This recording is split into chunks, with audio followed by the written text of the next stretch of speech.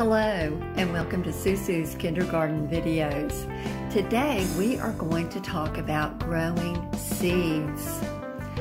It's spring, we're on the second day of spring, so it's a very exciting time and we're all getting very anxious for spring to be here so we can get outdoors and plant things in our garden.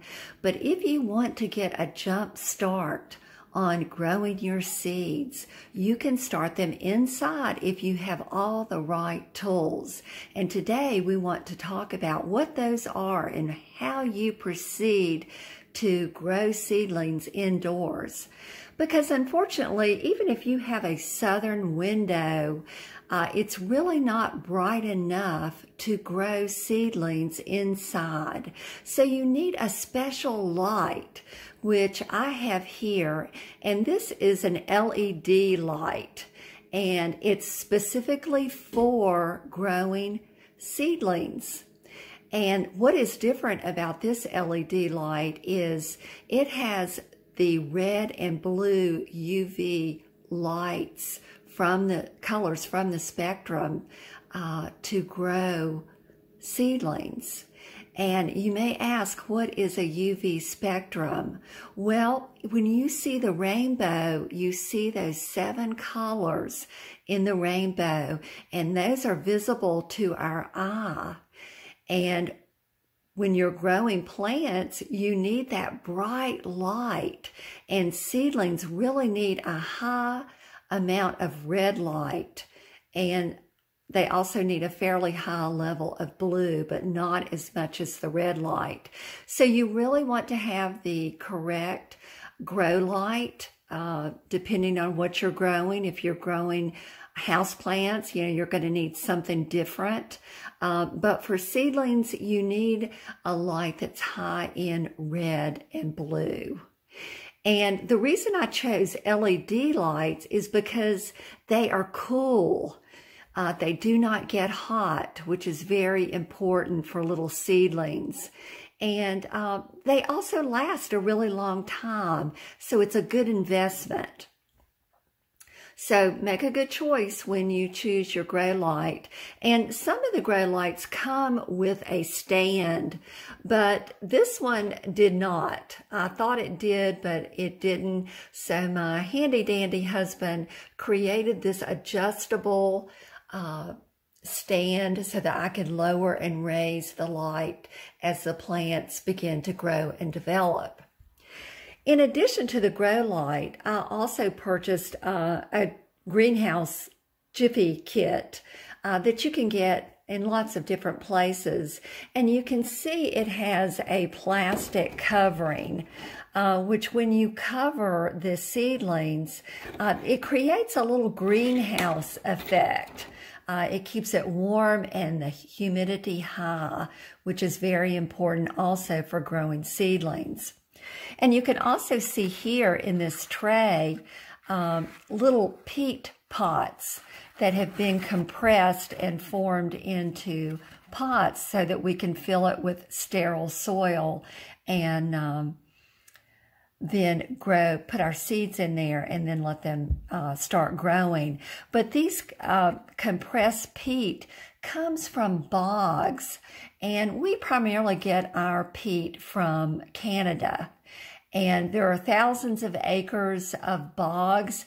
And a bog is a area of land uh, that is very wet. It never dries out. And um, it forms over a long period of time of plants decaying and rotting into that wet bog.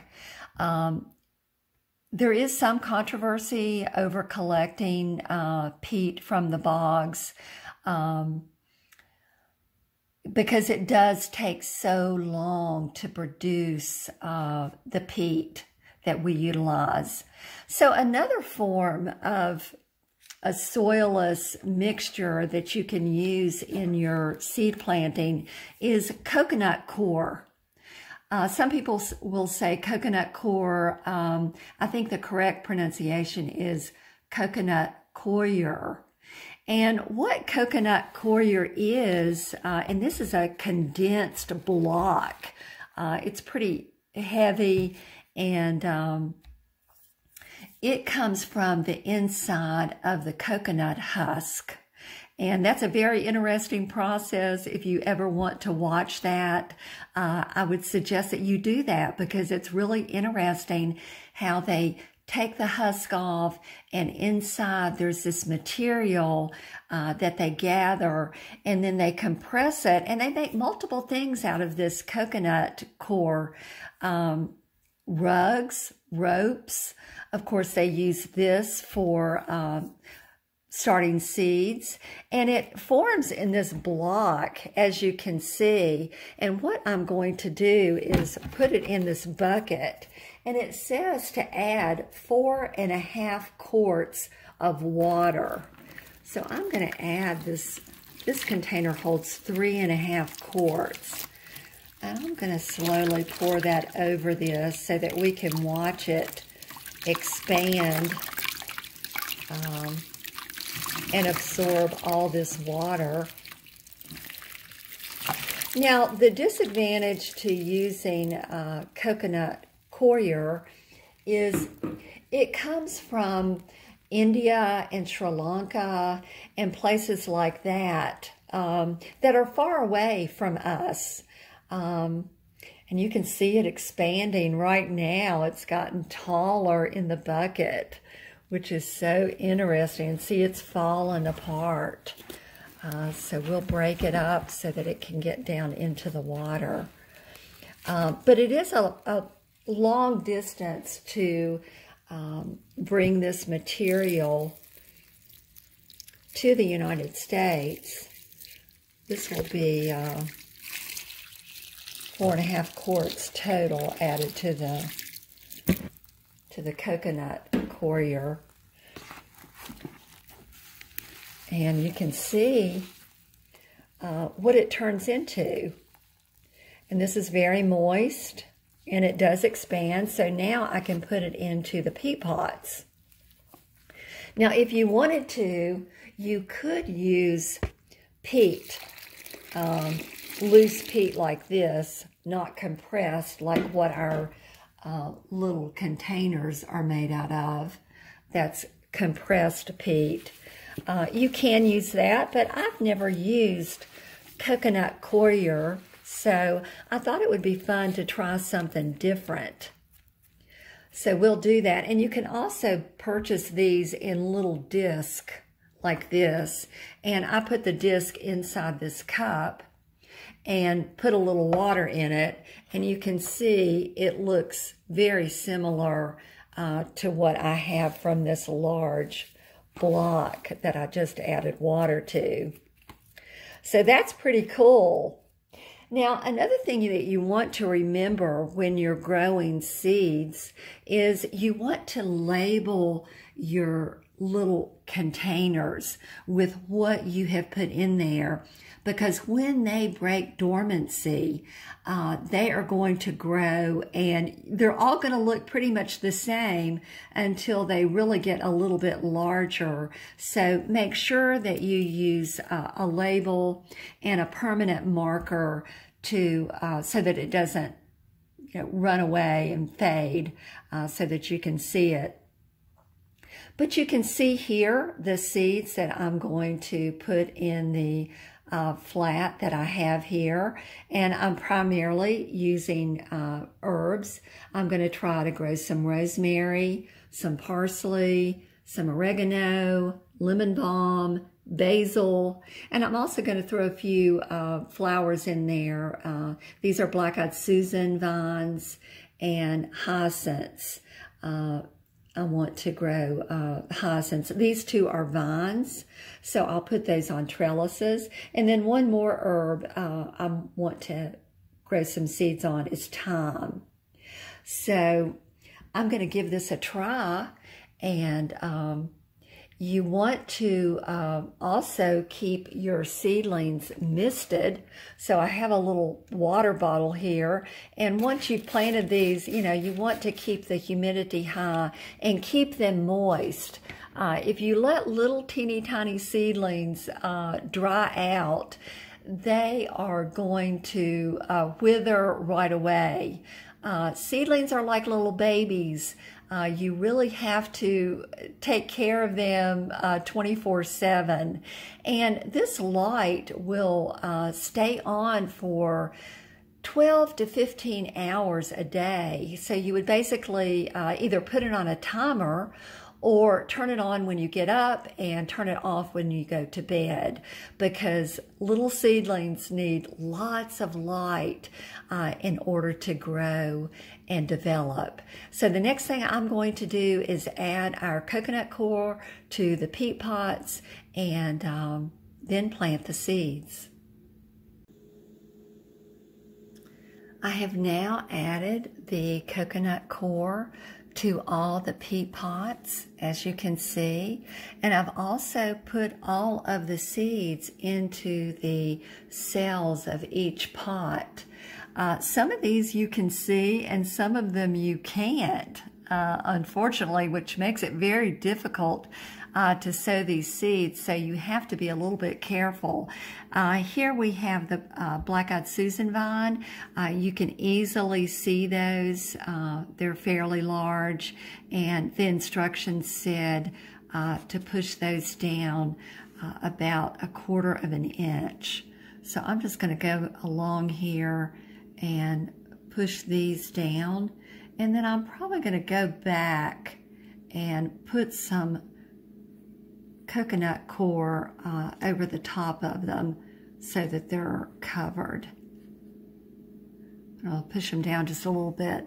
Now the hyacinth bean, you can see, are very large, uh, so they were very easy. And I'm only going to put one per, per cell here, as you can see, but I'm not going to push those down uh, just yet because the instructions said to soak them in water for 24 hours uh, because it helps their germination. And that's why it's really important to read the instructions on the back of the seed packets because there really is good information on there. And it's very difficult to remember everything about every seed. So I would encourage you to do that. And it also tells you the planting depth.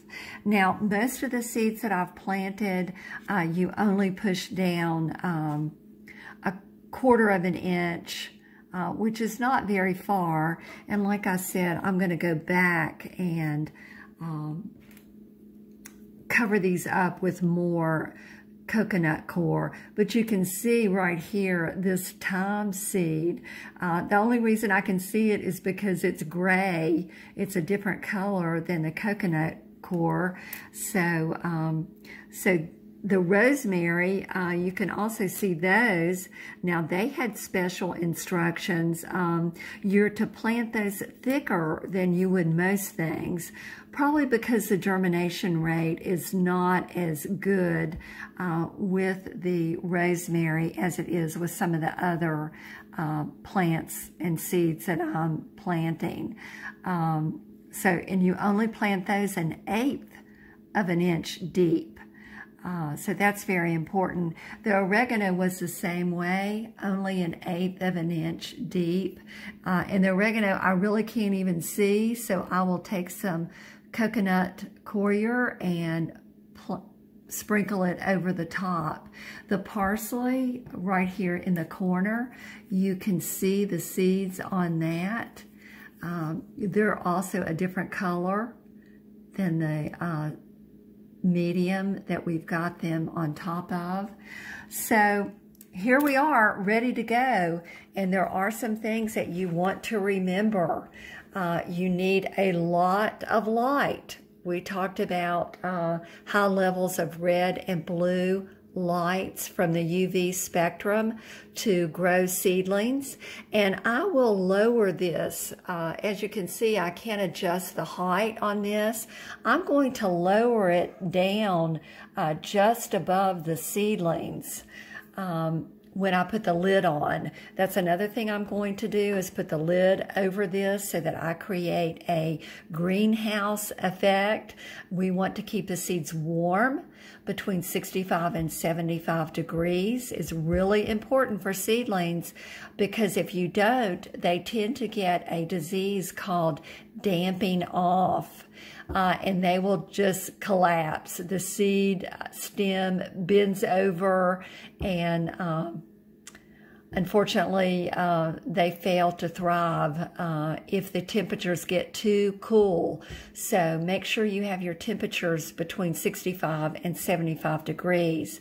I do have a little table that I'm going to set this whole thing on and I will turn on the light in the morning and turn it off when I go to bed at night. Uh, and I'm also going to miss these uh, once we uh, get everything covered up, I'm going to go back and mist these. And I will probably mist them uh, daily just to keep the humidity up. And then when the seedlings get a little larger, I will fill uh, this flat up, which is holding the peat cells. Uh, I will put water in this tray because there's no holes in there. Uh, and it'll be able to um, filtrate up to the seedlings uh, through the peat pot and the coconut coir and uh, it will evenly provide moisture to the seedlings. And then if there's a lot left in the tray, I will just dump that out because you don't want them to be too wet. Uh, you want them to be just right, as Goldilocks uh, says.